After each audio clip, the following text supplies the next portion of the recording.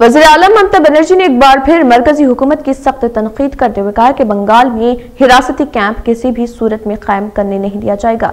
وزیر اعلیٰ نے کہا کہ میں مر جاؤں گی مگر حراستی کیمپ قائم نہیں ہوگا۔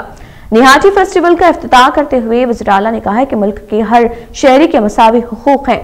وزیر اعلیٰ نے کہا کہ قریبوں کے جو حقوق ہیں، اسی صنعتکاروں کے بھی وہی حق ہیں۔ کسی کو کسی پر بربدیت حاصل نہیں ہے۔ وزیر اعلیٰ نے کہا ہے کہ اس ملک کے قانون کی نظر میں تمام افراد برابر ہیں، مگر بی جے پی اس مساویانہ حقوق کو ختم کرنے کی کوشش کر رہی اور ملک کے عوام کو آپس میں تقسیم کرنے کی کوشش کر رہی، مگر انہیں کامیاب نہیں ہونے دیں گے۔ وزیر اعلیٰ نے کہا کہ وہ اس ملک کے قانون کو سمجھتی ہیں اور کسی سے بھی ملک کے قانون کو سمجھنے کی ضرورت نہیں ہے۔